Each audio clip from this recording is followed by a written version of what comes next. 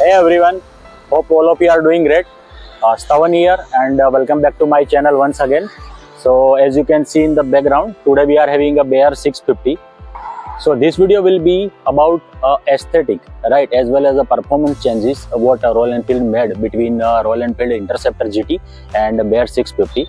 So many influencers have uh, addressed those uh, changes, but few are missing. So I thought let me make one video and it may be helpful to you. So without wasting time, let's get it started. So very first thing you can see in the video, it's a very beautiful Bear 650 RE has done a lots of changes in this motorcycle. So the major change they have made, it is in the engine. Now this engine is producing 8% of more peak torque and uh, whenever company doing such kind of mode, so they they are doing it in a proper way. So it's not like that कि मतलब uh, power बढ़ा दो, cooling बढ़ा दो, right?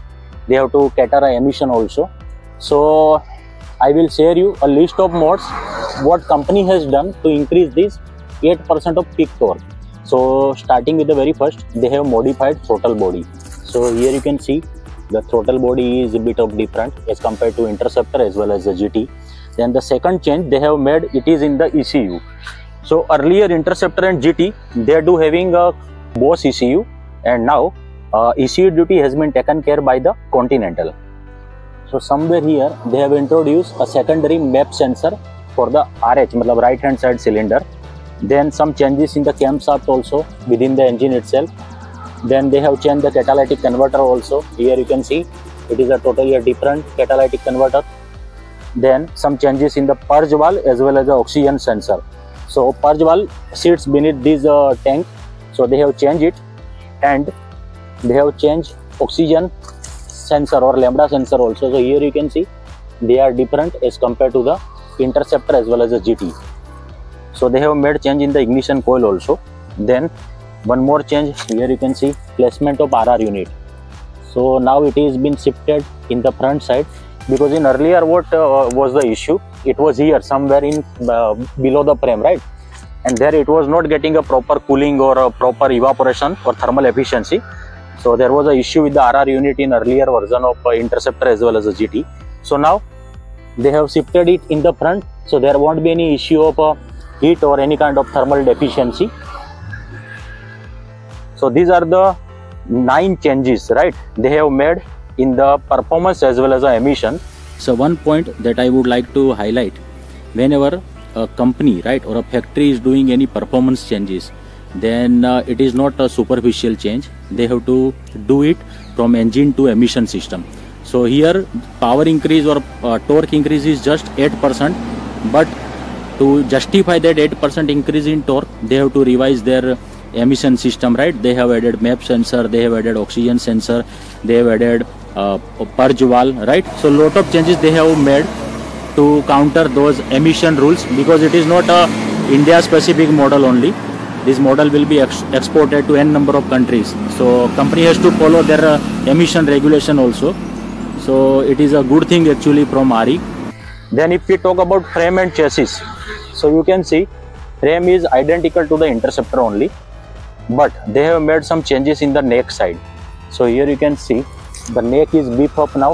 It is uh, better built as compared to interceptor. So it can do the duty of scrambler.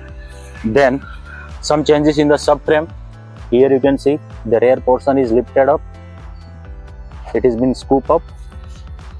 Then some changes in the swing arm also. So here you can see this is the swing arm.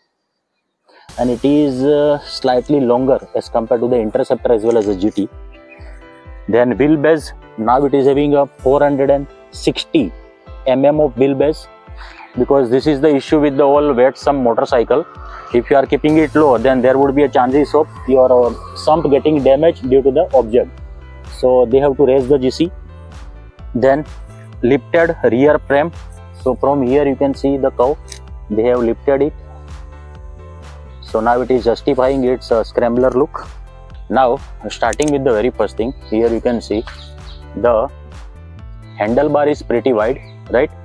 Uh, foot pegs are derived from the uh, himalayan mostly and uh, they are a dual purpose one because rider triangle is now little bit committed but it is not inconvenient at all So I rode it for two kilometer only, but I love the design, and uh, it's not a tiresome. So these are the changes they have made in frame as well as chassis. Now, if we talk about suspension and wheels, so starting with the front suspension, now they are made by Showa. Here you can see the BP unit, and uh, they are the USD means upside down down type. Then fork coil quantity would be different as compared to Interceptor and GT. It is a 590 and 587 ml. Then uh, some changes in the brakes also. So brakes are now by ByBre as opposed to the Brembo that we we are getting in Interceptor as well as GT. Then uh, changes in the rotor also. Interceptor and GT are having a floating rotor, semi-floating precisely, and now it is a fixed rotor. Then some changes in the tire. Here you can see the tires are made by MRF and they are a dual purpose tire. Another change is a very lighter wheel hub. Here you can see the wheel hubs are hollow and they are very light in nature. So unsprung mass will be less and you can get a better uh, steering input from the motorcycle itself. Then dual sport foot peg that already we cover in the beginning. These are the dual sport foot pegs. And the most prominent change to complement the interceptor look it is a two-in-one exhaust system then if we talk about rear suspension so they are also made by Showa. So you can see they are a slightly beefier version over the interceptor as well as the GT and the suspension travel also has been gone up. So the front suspension travel is increased by 130 mm and uh, the rear suspension travel it is somewhere around 115 mm. Rear brakes also they are now made by ByBre over uh, Brembo.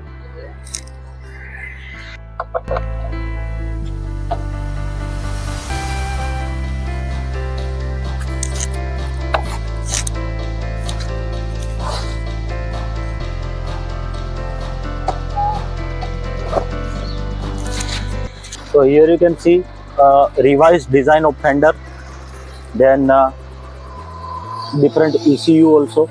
It is a Euro 5 version. Here you can see Euro 5 fuse box remains the same. And uh, they have made some changes in uh, OBD uh, connector. So OBD socket is slightly different. Here you can see this frame is also slightly beefier as compared to interceptor then a dual pod instrument cluster has been ditched and giving its way for the Himalayan single pod instrument cluster. Ignition slot position has been revised slightly. Some changes in the top yoke also. Here you can see this top yoke might be derived from the Super Meteor 650. This is how instrument cluster looks like. Calibration mode switch gears are uh, the same that we are getting in uh, classic 350 so let's crank it up.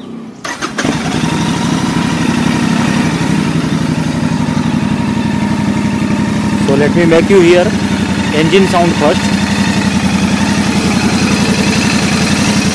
So this is how engine sounds. It's slightly on uh, muted as compared to interceptor as well as the GT and this is how exhaust sounds.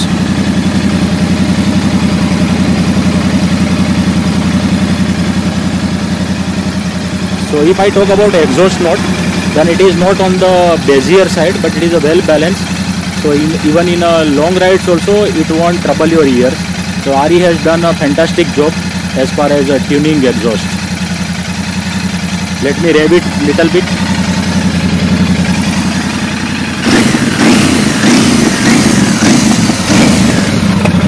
audible burbling from the exhaust.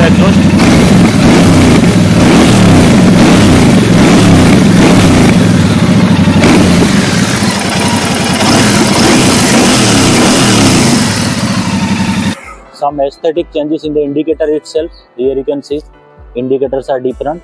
They are all LED now.